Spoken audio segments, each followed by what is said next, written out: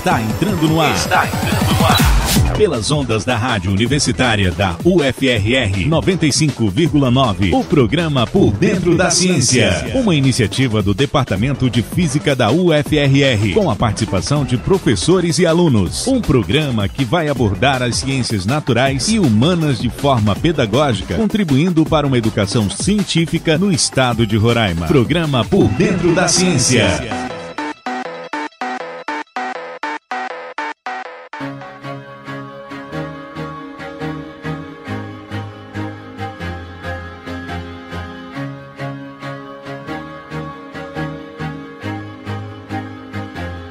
Bom dia, ouvintes. Estamos no ar com o programa Por Dentro da Ciência. Estamos com vocês todas as terças pelas ondas da 95.9 FM, Rádio Universitária. Na apresentação, eu, o professor Roberto Câmara, do Departamento de Física, juntamente com o professor Luiz Henrique, também do Departamento de Física.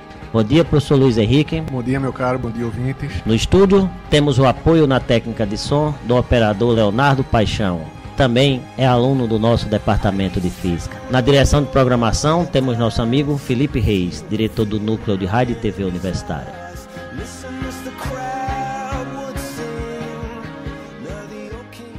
Hoje vamos conversar com o professor Miguel Campos, do Departamento de Física da UFRR. Vamos tratar do tema de astrofísica, física molecular. Professor Miguel, muito obrigado. Bom dia, seja bem-vindo ao Por Dentro da Ciência. Professor, a gente começa o nosso programa geralmente pedindo ao nosso convidado que dê um, um histórico de sua vida profissional. Como é que. E sua profissional e acadêmica, na verdade.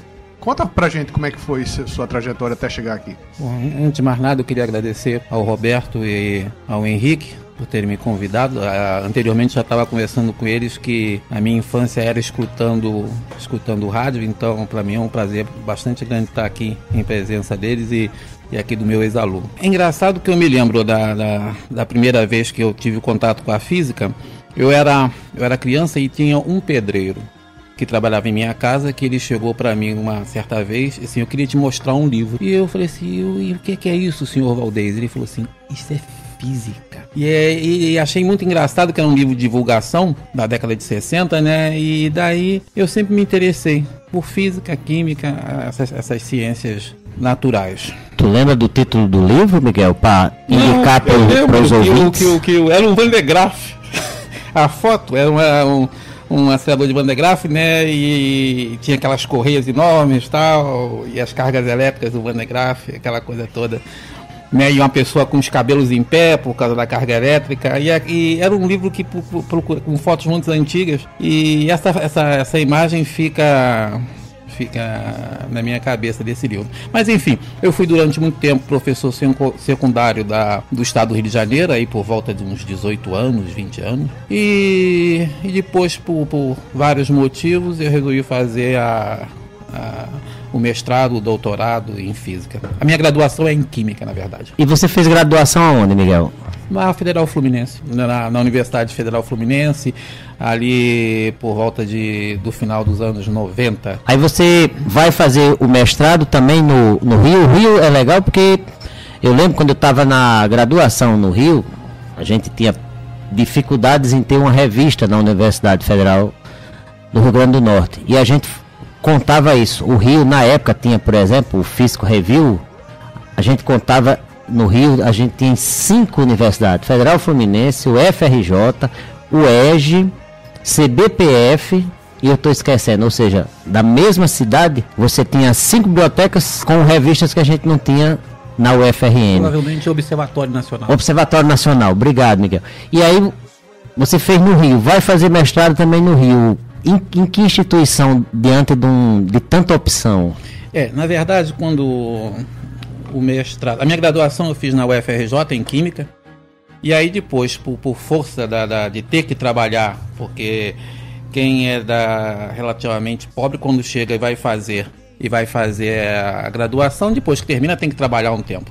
E só mais tarde que eu vou fazer o mestrado na Universidade Federal Fluminense e o doutorado também faço o doutorado na Universidade Federal Fluminense, sempre na área de é, estruturas a grande escala. Na época, quando eu fiz mestrado e doutorado, o objeto de pesquisa era estruturas a grande escala, ou seja, teoria de perturbação na relatividade geral, trocando em miúdos formação de galáxias. O programa, como eu te falei, é para a gente divulgar a ciência, explica lá para o nosso ouvinte o que é essa relatividade geral. A gente tem ouvido bastante em função do falecimento do Steve Hawking, mas explica para ele o que é a relatividade geral, já que você trabalhou no mestrado e no doutorado. Bom, é, no século passado tem duas teorias que, que, são as teorias que mudaram muito a concepção do mundo: a teoria quântica e a teoria da relatividade. A teoria quântica ela é uma teoria vitoriosa, ela tem poucos problemas. Do ponto de vista teórico, que eu saiba, não tem problema nenhum. Nenhum. Até os problemas que ela tem são altamente previsíveis e não há problemas. A teoria da relatividade, não. Ela tem problemas. Tem problemas em relação à formação de, de soluções não muito bem comportadas. O que, é a teoria da relatividade? O nome não, não, diz grande coisa. O nome não quer dizer absolutamente nada. Existem duas teorias da relatividade, uma dita especial e uma dita geral. Em, em regras gerais é o seguinte: o que que trata a teoria especial? Trata de um, de, um, de um preceito que diz o seguinte: a velocidade da luz é constante. É isso. E a teoria geral é a teoria, digamos, entre aspas, especial com o campo gravitacional. Então, do que que trata a teoria da relatividade geral? Trata do campo gravitacional. É isso que ela trata. Ô professor, uh, para os nossos ouvintes, uh, o Einstein, que foi o, quem desenvolveu a, a, teoria da relatividade, é um dos físicos, talvez, talvez o mais famoso. E o senhor acabou de dizer que a teoria de relatividade tem alguns problemas. É um demérito para Einstein? Não, de maneira nenhuma. de maneira nenhuma. Aliás, nós estamos numa época, tratando especificamente do Einstein, nós estamos numa época que, como a, a a gravitação deixou de ser uma coisa teórica para ser muito ligada aos dados observacionais, então tem uma porção de teorias alternativas à relatividade de Einstein. E, e aí a pessoa que pega, olha para isso, assim, nós quantas teorias, mas na verdade, na verdade, todas essas teorias são alternativas, são diferentes, mas têm no seu bojo a ideia fundamental do Einstein, que foi a melhor ideia que ele teve, segundo ele próprio que é a gravitação curva o espaço-tempo, ou seja, a, a, gravitação é ligada à geometria do espaço. Todas essas teorias mudam, mudam a, fundamentalmente as equações de campo, mas permanece a ideia do Einstein, ou seja, a, a gravitação é o único campo ligado à geometria da, do, do espaço. Explica um pouquinho mais, professor. O senhor falou aí de campo, geometria, tem que lembrar que os nossos ouvintes são leigos, né? O que é essa deformação do espaço? O que é que provoca essa deformação? na verdade, o que provoca. Tem, tem, uma, tem uma peça que até alguns dos senhores já assistiu um tempo atrás, que ela passou aqui em Boa Vista, que o ator fazia uma, uma brincadeira, né? Ele esticava uma espécie de, uma, de um tecido e esse tecido era plano tecido era totalmente plano, bem esticadinho. E aí, né, nesse tecido, ele botava uma massa e essa massa é, curvava o tecido, né? Onde está a massa, curva o tecido. Afunda. Afunda. Afunda o tecido. De tal maneira que o espaço, o espaço em si próprio, ele quando tem uma matéria, ele se curva. Isso foi, claro, isso é era uma ideia do Einstein, não tinha fundamentação experimental quando ele teve a ideia. Porém, o Brasil contribuiu efetivamente para comprovar a teoria do Einstein, que foi o, aliás, especificamente a cidade de Sobral, no estado do Ceará, onde foi comprovada efetivamente a teoria da relatividade e a curvatura do espaço-tempo. Inclusive na época saíram duas, duas missões, uma veio para Sobral e outra foi para São Tomé. Para São Tomé e Príncipe. E lá não conseguiram fotografar porque lá ficou com choveu, é. choveu. E, a, e só as fotos de, de Sobral, acho que isso é 1929, se eu não me engano. Só as de Sobral é que eles conseguem com, comprovar, em, em, inclusive a Academia Britânica de, de ciência, né? Era. E aí, Miguel, tá, desculpe. Pode... não, não, pode continuar. Aí eu, eu tava curioso aqui. É, você comentou que a, a, primeira curiosidade por física a, foi um pedreiro que lhe mostrou um livro com um gerador de Van de Graaff. Então, aí vem na cabeça um, um, um pedreiro. É, o gerador de Van de Graaff é uma coisa bem experimental. Quer dizer, você vai no laboratório, você mete a mão na massa. E é interessante que você foi trabalhar numa área teórica tipicamente teórica. O que é que te chamou a atenção? Por que não trabalhar numa área experimental? Só para os ouvintes entenderem, na física, a gente divide a física em duas áreas, você me corrige se estiver equivocado, área experimental e área teórica, e que em muitos campos elas se complementam. O que é que te levou a trabalhar com teoria? Em princípio, né, como eu fiz química, eu não sou um cara. Geralmente o pessoal que, que trabalha na, na área teórica, ele tem uma característica que eu acho que os senhores vão cortar, concordar comigo, geralmente é desastrado. Mas geralmente o teórico ele é muito desastrado no, no, no laboratório.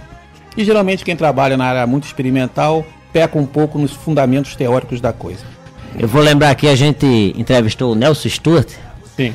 E ele falou, com outras palavras, o que você falou é desastrado. Ele falou que a primeira vez que foi pro laboratório trabalhar na parte experimental, ele ligou o ferro de solda e na hora de pegar, pegou pelo lado quente do ferro de solda. Foi. Então você classificou bem, você caracterizou bem ah, o, o desastrado. Aí ele disse que viu que não dava para fazer experimental, foi fazer teoria. Você classificou bem mesmo. É. O, na verdade, nós, eu quando era adolescente, nós tínhamos um grupinho de, de, de adolescentes, uns, uma meia dúzia, que gostava de discutir física, química e matemática. E aí eu peguei, junto com esses meus, nós fomos fazer química. Então eu sou um cara relativamente bom de laboratório, porque eu fiz química. Então eu fiz na, então eu sei fazer é, é, aspirina, sei montar, sei fazer vidraria de laboratório. Sou um cara que fez química. Agora, para depois Chegou um tempo que eu acho que eu já sabia o suficiente de química que eu queria saber.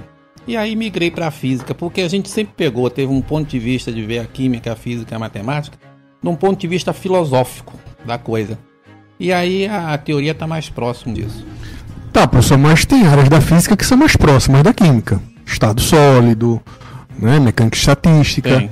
Tem. Por que essa parte de cosmologia, aí, né, astrofísica? Né, é, mas aí você vê, ah, é porque daquelas elucubrações que o cara começa a ter que são mais profundas filosoficamente, o que é o tempo e essas coisas todas. A parte física atômica molecular lida muito com, com, com modelagem e tal, e essa questão mais filosófica fica, eu não diria aqui que não há, mas eventualmente fica mais marginal. E aí, você faz o mestrado na Federal Fluminense, você trabalha com o que especificamente, Miguel? Ah, na Federal Fluminense, no, no, mestrado, no mestrado, eu fiz, foi uma modelagem de estrela, né? Foi uma estrela, foi modelagem de estrela e condições de estabilidade de uma estrela carregada.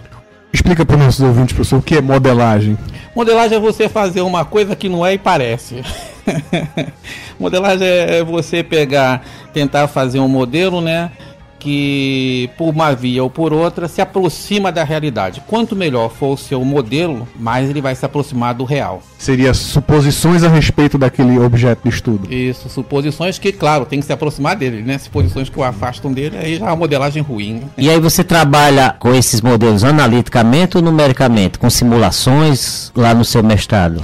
Ah, eu ah, eventualmente sempre caía numa equação diferencial que você tinha que resolver numericamente, mas fundamentalmente era analítico. Professor, deixa eu fazer uma pergunta que para mim, professor Roberto, a gente sabe a resposta, Sim. mas tem que lembrar que a gente está falando para os nossos ouvintes.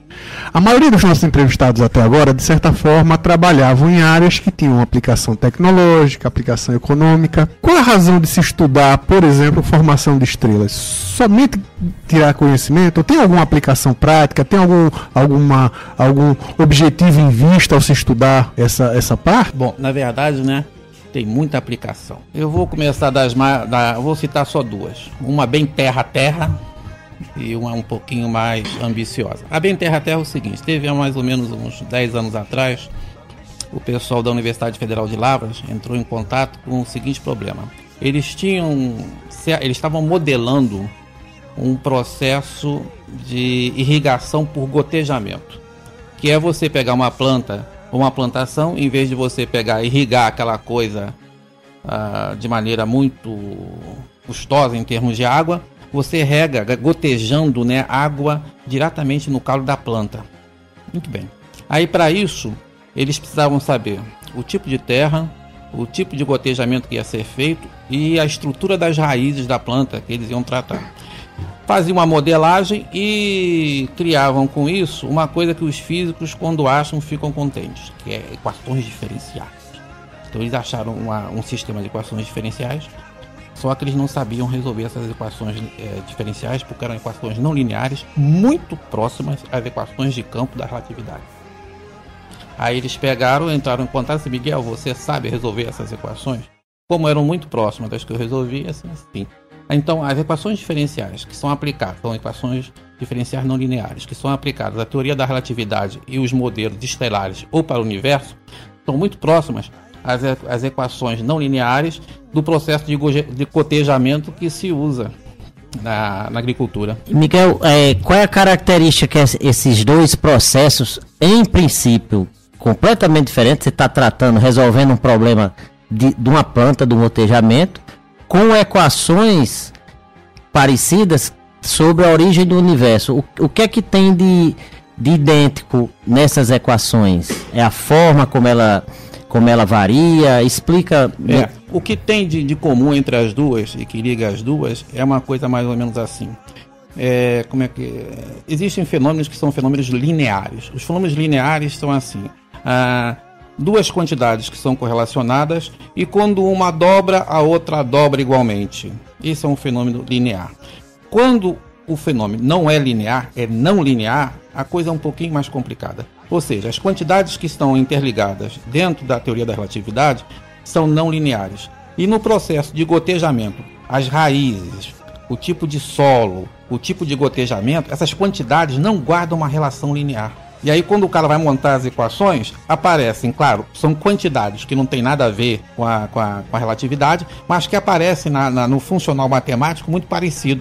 Ou seja, elevado ao quadrado, elevado ao cubo, não lineares. Aí eu venho com aquela pergunta do, do leigo. O cara que derivou a equação lá na planta.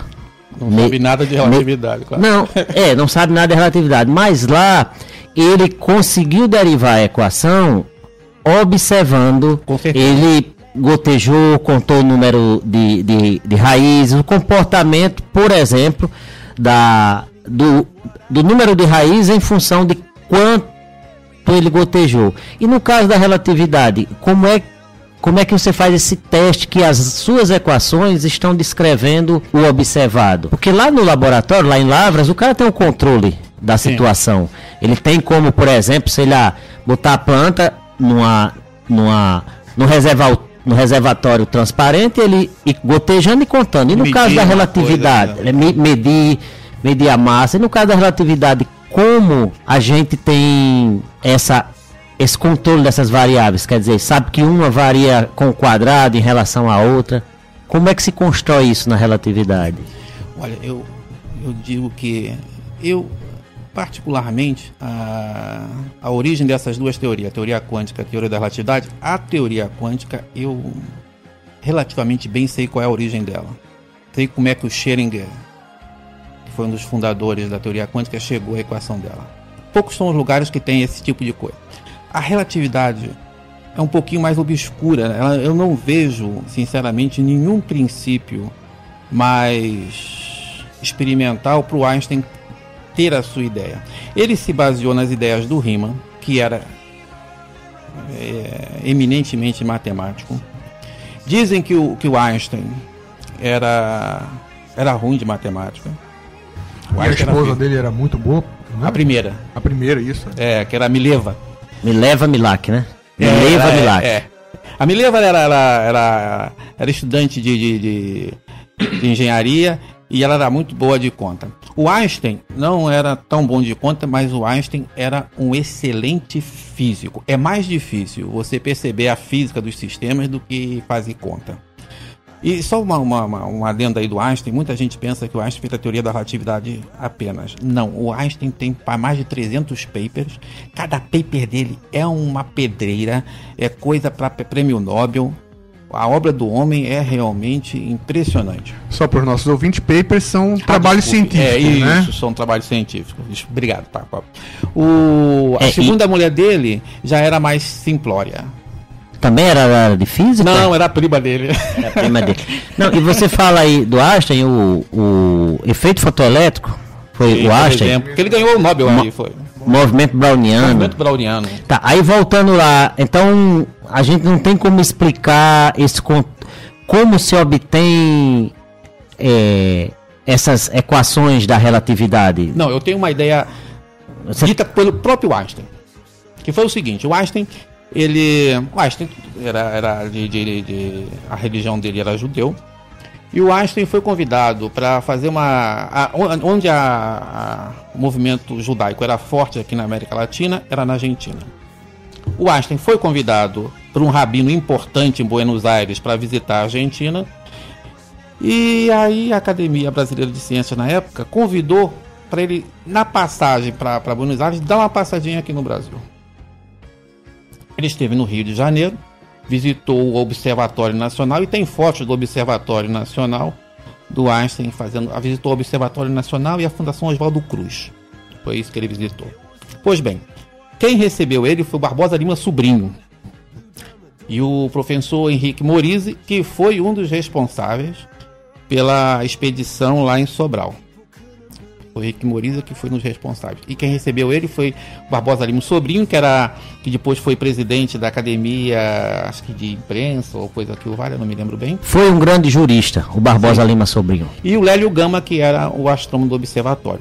E eu me lembro que, eu, me lembro que uma, na- olhando as notas lá do, do Observatório Nacional, onde eu, eu tive o prazer de fazer um, um pós-doutorado de um ano, e vi o seguinte, que o Barbosa Lima Sobrinho, durante a, as suas andanças com Einstein, na, na visita dele ao Rio de Janeiro, ele, o Barbosa Lima Sobrinho tinha um caderninho que ele sempre de vez em quando puxava o caderninho para anotar alguma coisa. E ele teria segundo as palavras do Barbosa Lima Sobrinho, comentado com Einstein que se ele não tinha um caderninho para anotar as boas ideias dele. E ao que o Einstein respondeu que ele só teve uma boa ideia na vida dele. Então não precisa do caderninho, ele só teve uma boa ideia. A boa ideia que ele teve é pegar, considerar uma equivalência entre todos os campos e toda a matéria que existe na natureza, menos uma que ele separou, que era a gravitação. Uma ideia boa que ele teve, teórica mesmo, de fundamentação teórica, foi que a teoria da relatividade ela considera o campo gravitacional como um campo especial ligado diretamente à geometria. E só para complementar essa ideia,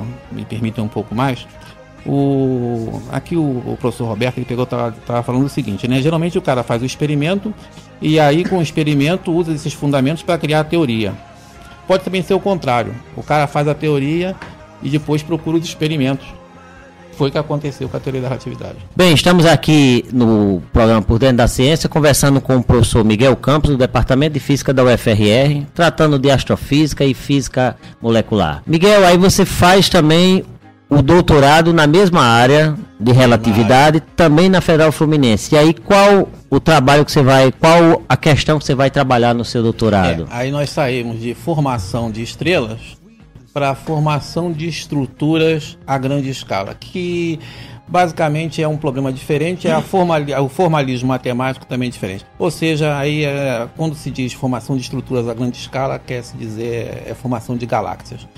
De maneira bastante simples, é no mestrado formação de estrelas e, e no doutorado formação de galáxias. Sobre formação de estrelas tem uma coisa curiosa que agora está, infelizmente, aí estamos com, essa, com essas com essas ameaças agora de, de, guerra nuclear aí da Coreia do Norte e, e aquela coisa toda. O pai da, da, bomba da bomba de hidrogênio russa era o Andrei Sakharov. E o Sakharov era astrofísico. O que o Sakharov fazia era modelos de estrela. E quando ele bolou o modelo de, de bomba H, o que ele pensou, né, no, isso eu li no livro dele, é o seguinte, eu vou fazer uma estrela no chão.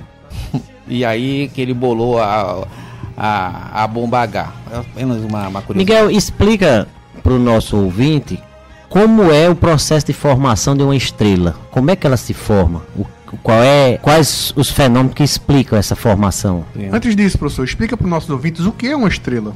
Qual a diferença entre as estrelas? Qual a diferença da estrela para o planeta? Sim. Uma frase que eu lembro de estrelas que eu sempre gosto é as estrelas que muito brilham logo se apagam. Mas enfim, é, tudo depende. Geralmente é, o berço, hoje em dia, né, o, nós temos um telescópio que está fora da, da, nossa atmosfera, que é o telescópio Hubble, e o Hubble ele tem feito fotos, né, de coisas chamadas berçário de estrelas.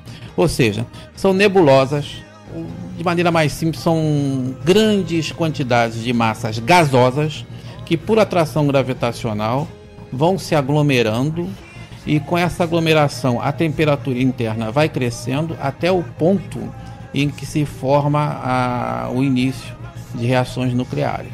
Aí sim vai ter, pode se gerar uma estrela ou um planeta, conforme seja a massa inicial que você tenha. Eu tenho impressão que a formação de a formação de planetas não é uma coisa muito, tão tranquila como é a de estrela. A de estrela está mais ou menos clara na cabeça de um teórico, não quer dizer que esteja correta, mas está clara, que vai por uma aglutinação de matéria, a temperatura vai crescendo, a pressão vai crescendo, as reações nucleares vão acontecendo e aí você tem a formação de uma estrela. Agora, o planeta não. O planeta pode ter formações de, totalmente diferentes. Não é tão simples assim a teoria. Miguel, esse gás inicial que você fala é o hidrogênio. Geralmente é hidrogênio. E aí, por pressão gravitacional, ele começa a fundir e formar uma estrela. As sequências, é? É, começa a pegar, a formar as sequências no Até uma, uma, uma, Já que o professor Roberto tocou na questão do hidrogênio, a maioria do hidrogênio que existe na, na, na, na no, no, universo é de origem cosmológica, ou seja, o hidrogênio foi criado com a criação do universo. Hidrogênio e hélio. E como é que vocês sabem disso, professor? É o seguinte, você pega. Como é que você.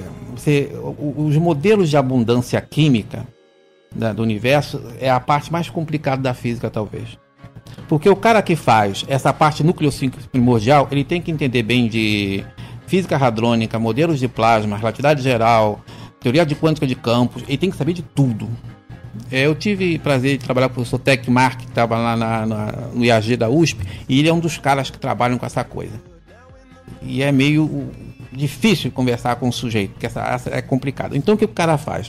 Basicamente, voltando à questão da modelagem, o cara faz uma modelagem. Ele é russo ou é americano? Ele é americano. Americano. Aí faz uma, uma modelagem do que ele pensa como é que seria essa sopa primordial, né? Vê o que acontece na física hadrônica e vê o que acontece nos aceleradores, nos reatores nucleares, transporta isso para o universo primordial e vê se isso corresponde às abundâncias químicas que ele mede no universo. Aí bate. Como bate, aí então em princípio foi assim que a princípio se acredita que o hélio e o hidrogênio eles têm mesmo uma origem primordial da formação do universo e todos os outros elementos, com exceção do lítio, têm formação estelar. Então não seria um erro dizer que muito do, do, dos componentes do ser humano vem das estrelas, porque com certeza, o ferro que está na nossa, na nossa hemoglobina e os outros componentes que não. O carbono também, tudo foi formado no interior de estrelas. Mas você falou o hidrogênio e o hélio são cosmológicos. Lá o, o primordial alguns segundos depois, de acordo com, é, com tal, tal. o modelo padrão.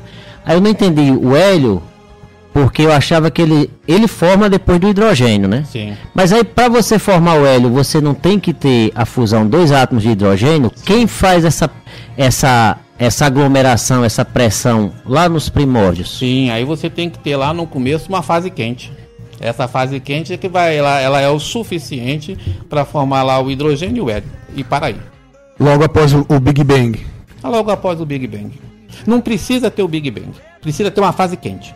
O Big Bang é que você tem aí na uma singularidade inicial. Não precisa ser singular. Você está dizendo então que na verdade.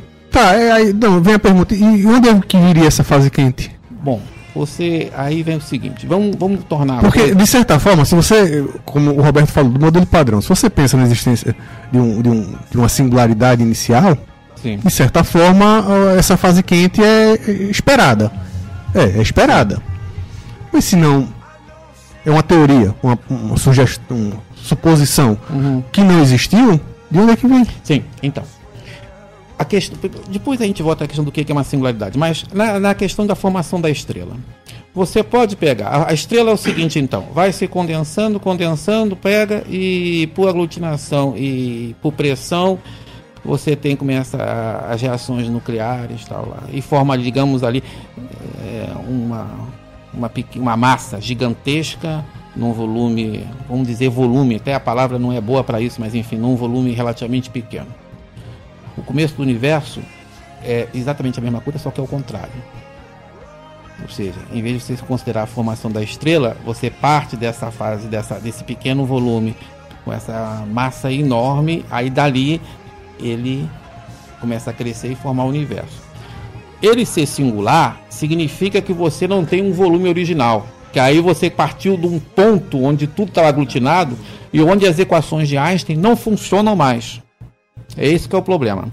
Agora, se não for singular, aí você pode ter uma região onde a densidade é muito alta, o volume é muito pequeno, a massa é muito alta, mas não vai para infinito. Ou seja, não é singular. Mas vai ter uma temperatura alta com possibilidade de formar esses elementos. E, Miguel, a gente tem alguma teoria que chega nesse ponto onde a, a, a relatividade não chega? Já se desenvolveu alguma? Não. Não, né? Não. Foi, foi o Stephen Hawking que disse, né, que perguntaram para ele o que é que tinha acontecido antes do Big Bang, e ele disse essa pergunta você tem que fazer para um padre. Foi ele? Não conheço. Confesso é, que eu não conheço. É, acho que houve algo, algo, do tipo. É, mas posso adiantar para os senhores o seguinte: a pergunta dizer o que, que tinha antes do Big Bang não faz sentido nenhum. A teoria da relatividade é uma teoria de quatro dimensões. Essas quatro dimensões, elas são espaciais. Ah, o meu tempo não é. As quatro são espaciais. Então, x, y, z e a última é ct. Então, velocidade vezes tempo, que é espacial também. Então, as quatro são espaciais e as quatro são indistinguíveis. Espaço Minkowski, né? Espaço Minkowski.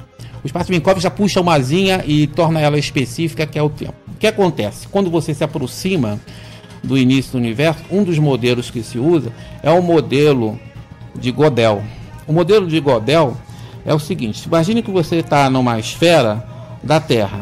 E aí você sai de um ponto e dá a volta. E volta para o mesmo ponto e fica nessa coisa de dar voltas à Terra sem início e sem fim. Isso é aquela que dizem que o universo tem um momento. tempo fechados. Estacionário, inflacionário. Não, essa é, uma, é uma, um teórico realmente que vai lá para o início do universo, que as curvas do tempo, elas são fechadas de tal maneira que acontece a mesma coisa que acontece com o sujeito quando está numa esfera. Ele sai de um ponto, dá a volta na esfera, volta ao mesmo ponto e fica aí a pessoa pergunta assim, o que, que é antes, o que, que é depois? Não tem muito sentido perguntar isso se o cara está andando numa esfera, o que, que é antes, o que, que é depois.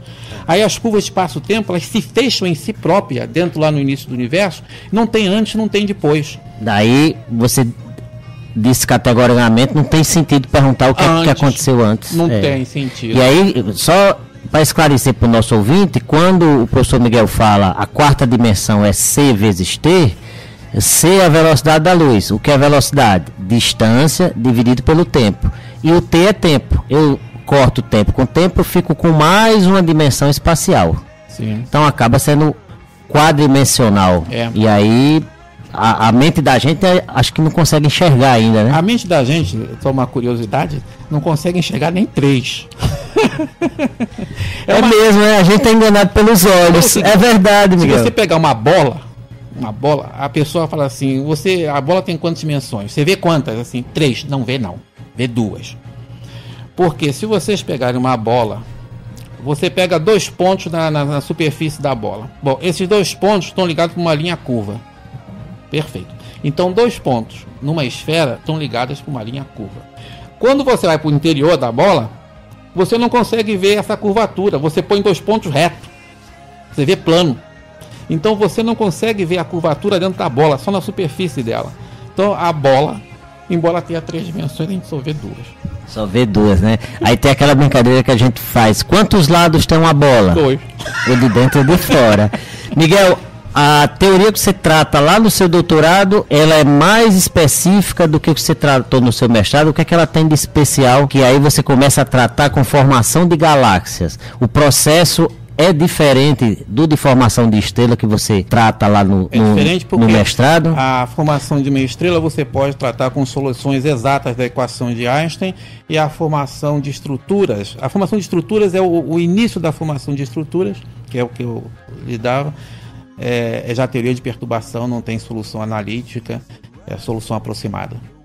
É diferente o formalismo matemático. Mas também dentro da relatividade. Aí, da relatividade. aí já é relatividade geral ou a, todos é relatividade tem, geral? Todos são, todos os dois são relatividade geral, tanto formação de estruturas quanto formação de estrelas. E como é que eu explico para o meu ouvinte qual é o limite da relatividade especial e da relatividade geral? O que é que diferencia uma da outra?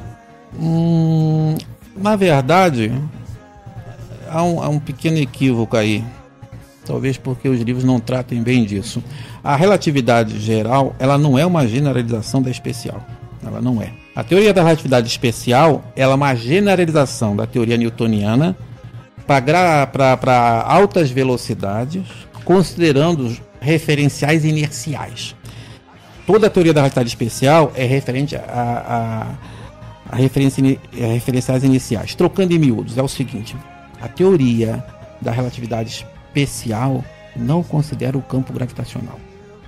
A teoria da relatividade geral considera. Uma não é um caso particular da outra, embora as duas sejam um caso particular da newtoniana. Deixa eu voltar um pouco, que eu me lembrei. Eu ia fazer essa pergunta anteriormente, mas me lembrei agora quando a gente falou de formação de estrela. Hoje a gente vê muito o, o cosmólogo experimental, me corrija se eu estiver classificando errado, ele tem toda uma técnica de difratometria para é, caracterizar a composição daquela estrela.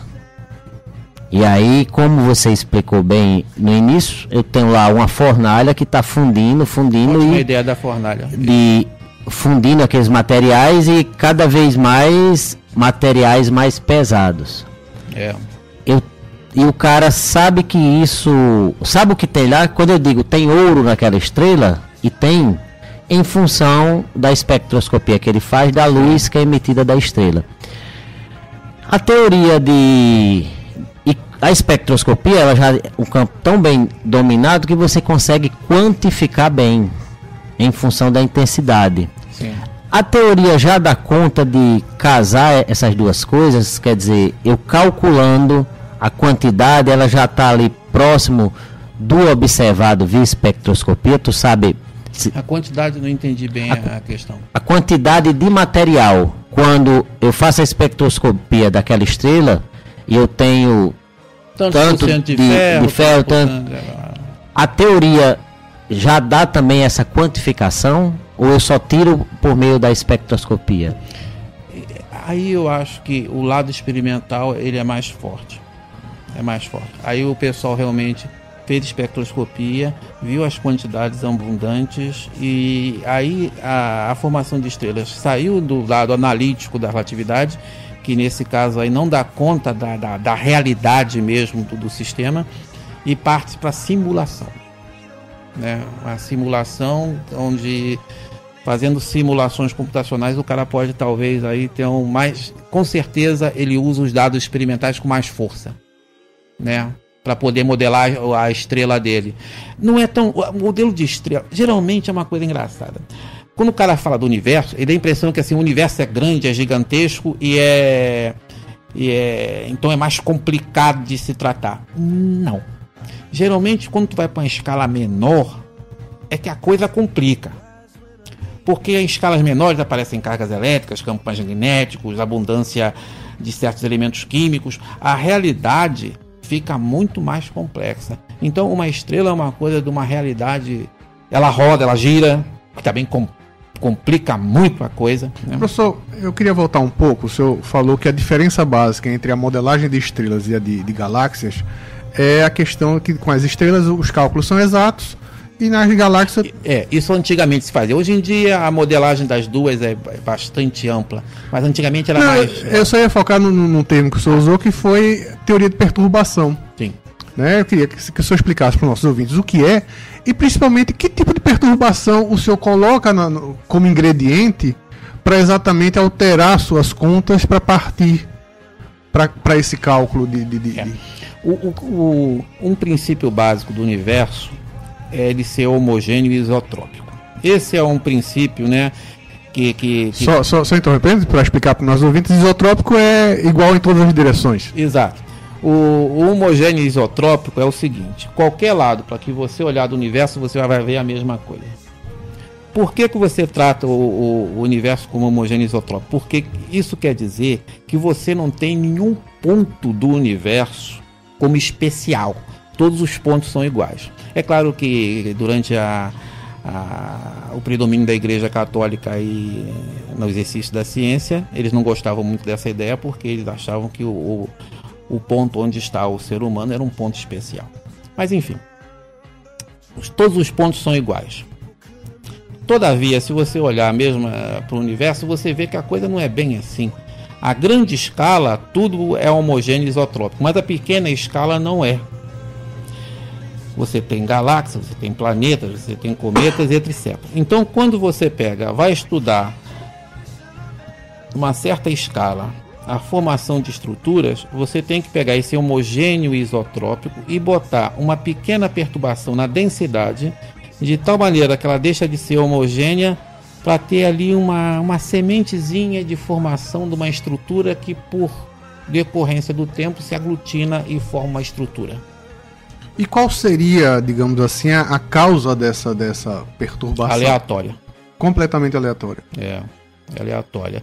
Você vai ter variações na temperatura num certo ponto, e muita gente gostaria de ligar com as variações de vácuo desse ponto, e aí você tem uma aglutinação inicial ali de matéria. Muita gente acha que essa, que essa, que essa semente primordial tem origem quântica. Deixa eu agora também tratar de outra expressão que você usou há alguns minutos atrás, que foi de acelerador de partículas.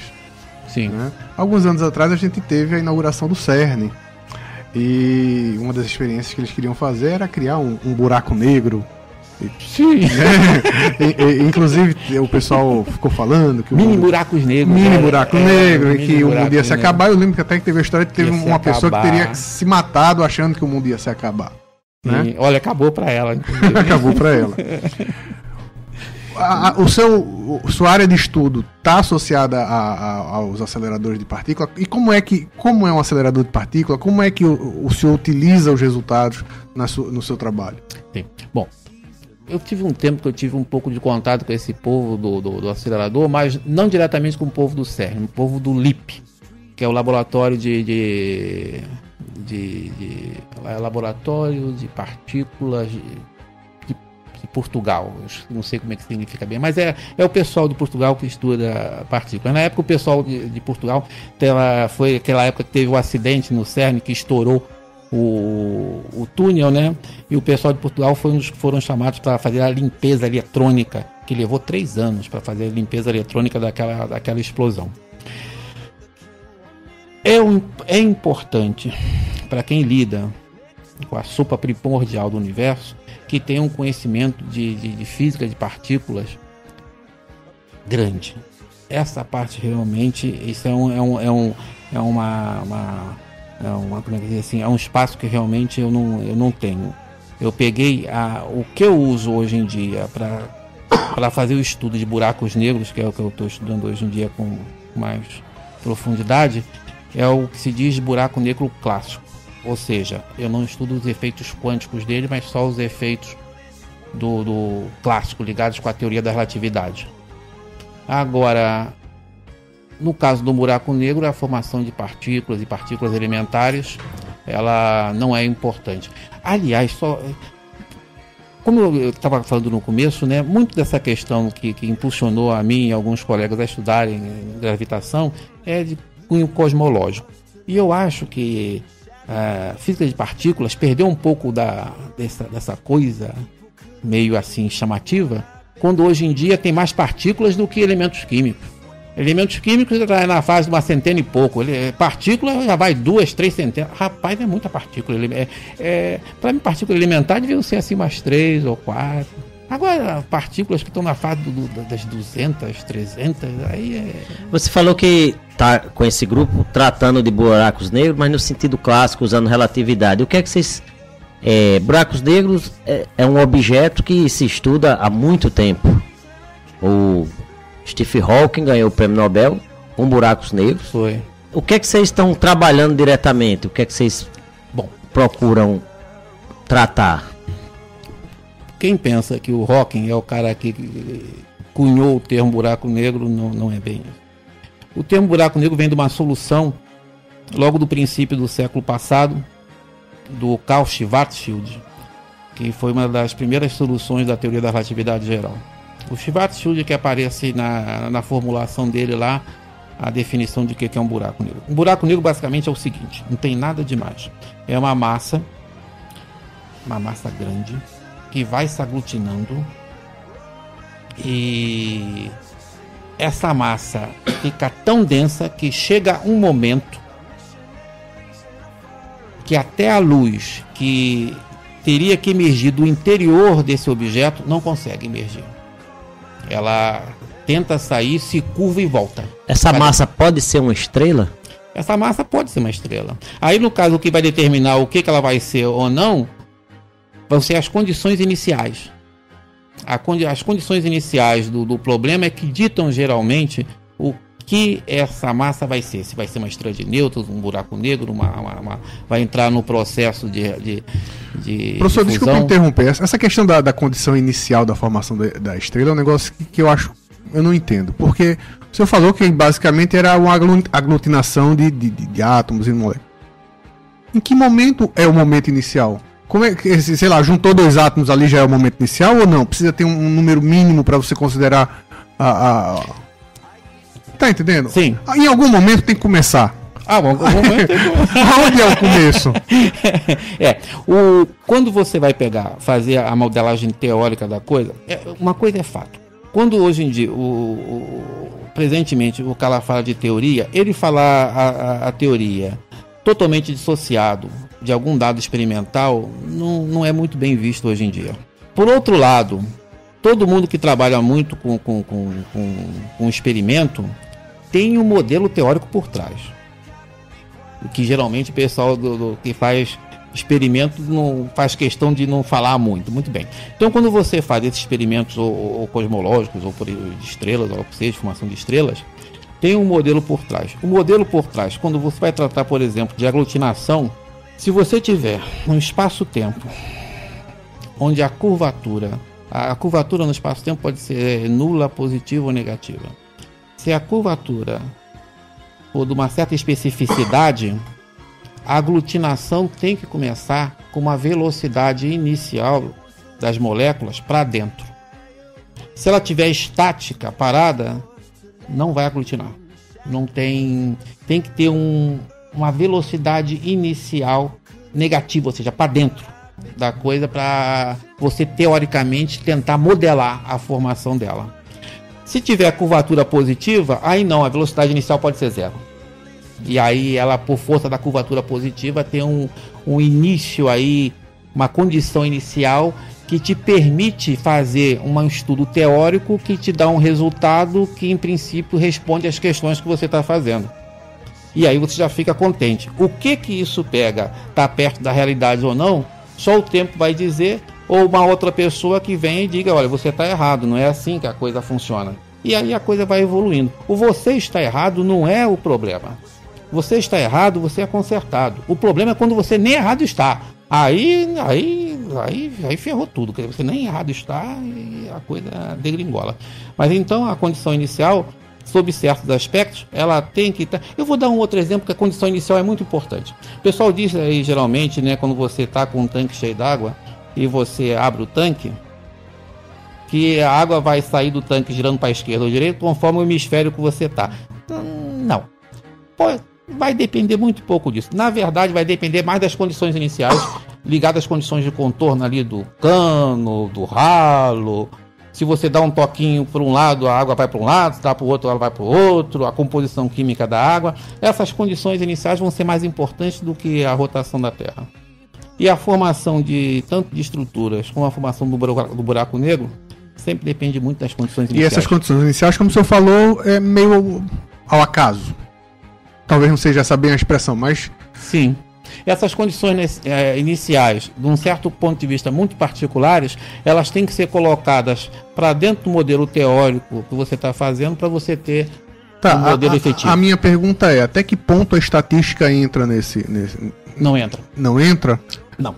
Na formação, né, no estudo de teoria da atividade geral e nesse estudo teórico, não entra. O que a estatística hoje em dia entra com força é quando você vai tratar dos dados observacionais que aí você tem que pegar.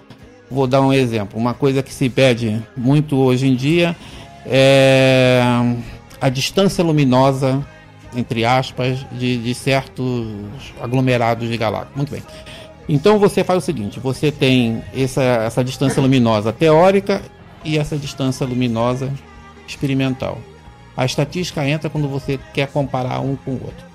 Que aí você tem que usar uma estatística para dizer o quão perto os seus dados observacionais estão perto dos dados que você obteve teoricamente. Teve um trabalho científico que eu fiz mais ou menos há uns 10 anos atrás, que eu tratei dessa distância luminosa do ponto de vista teórico. A pessoa que jogou o trabalho escreveu para mim dizendo o seguinte: por que, que você não faz essa comparação estatisticamente para ver o que, que acontece? Eu tive vontade de responder para ele o seguinte: olha, eu não fiz porque eu não sei fazer, poxa. Mas aí eu perdi uns mesezinhos vendo como é que se isso faz, não é tão, tão difícil assim fazer essa comparação estatística. E aí você vê o quão fidedignos seus dados são entre teoria e observação. Olha, Miguel, muito legal o papo, como tem sido todos aqui. E interessante que é um tema recente, em função até do falecimento do Steve Hawking. Apareceu muito sobre a vida dele, falando ah, muito sobre até, astrofísica. É, né? o, o, eu, o meu colega que devi, é, dividia a sala comigo, o Daflon, ele foi fazer o doutorado em Cambridge. E numa visita que, que eu fui fazer a, a, ele em Cambridge, eu tive a oportunidade de assistir uma palestra do Hawking. Ele na época ainda falava ainda. Ele usava um aparelhinho e ainda falava. Aí, acho que depois de 85 ele, ele, ele teve uma, uma, uma pneumonia mais grave e isso afetou bastante ele e depois, uma década depois, ele já foi perdendo a voz e aí já ficou mais complicada a situação dele. Apesar disso, o, o Hawking, pelo que eu tive contato com as pessoas que conheciam relativamente bem ele, era um cara muito bem, muito bem humorado. Ele é um cara muito bem humorado. Ele gostava de viajar. Ele foi várias vezes a, a Lisboa. É isso. Foi uma é uma característica que os telejornais, a gente só para explicar, é, colocar os ouvintes no tempo, a gente está gravando esse programa hoje, dia 23 de março. Sim. Não é isso? O Rock morreu a semana passada, acho que dia 13 de março, ou dia 12. Eu, eu, duvido um pouco que tenha sido exatamente nesse dia. Eu acho que acertaram um pouquinho tá. o dia para bater com o dia da. E aí, o, os, os jornais, a, os que eu assisti, uhum. é, relatam isso, o, o bom humor dele, a forma de, de viver dele, apesar de daquele problema cadeirante, mas era isso que você falou, era um cara que vivia. Com dificuldade, ele algumas vezes ele pegou, relatou realmente a, a, a defesa da, da eutanásia. Quem, quem, quem pelo menos num ou outro relato eu vi que ele, se ele tivesse tido oportunidade, acho que ele pensaria um pouco nessa coisa, porque não é uma situação muito, muito fácil. Mas só para, eu não gostaria de pegar, perder a oportunidade de falar só uma, duas ou três frases o que, que era o trabalho do Hawking. O trabalho do Hawking era de buracos negros. O buraco negro é uma estrutura que não permite que você tenha informação se você estiver do lado de fora do buraco negro. Tem um buraco negro, você está do lado de fora do buraco negro, você não tem informação do que acontece lá dentro. O trabalho do Hawking é um processo de quantização do que acontece no horizonte do buraco negro e ele vem efetivamente dizer o seguinte: tem como você ter informação lá de dentro. É esse o trabalho do Hawking. Fantástico, revolucionário e por isso ganhou o Nobel, né? Foi, foi, foi por isso que ele ganhou o Nobel. Professor Miguel, muito obrigado. O tema muito rico e, e desperta a curiosidade da gente. Obrigado por ter aceitado nosso convite e a parte didática que você usou aí para explicar essas ideias de relatividade e tudo mais. Obrigado, professor. Bom, para mim foi, foi um prazer pegar atender ao convite dos senhores. Muito que eu falei aqui, eu acho que não está tão bem assim, porque foi uma coisa assim muito de improviso, mas enfim, eu acho que faz parte da, da, da universidade sempre que, que, quando é solicitada ela atender esse tipo de chamado. E no fundo eu agradeço muito aos senhores. Valeu, Miguel. Muito obrigado mesmo. E agradecemos, e agradecemos vocês, ouvintes, ficaram conosco aqui na 95.9 FM Universitária com o programa Por Dentro da Ciência. Contamos com vocês na próxima terça-feira, às 10 horas da manhã. Até lá. Você acabou de ouvir Por Dentro da Ciência, um bate-papo científico com colaboração do Departamento de Física da UFRR e que vai ao ar todas as terças às 10 horas pelas ondas da Rádio Universitária 95,9 FM.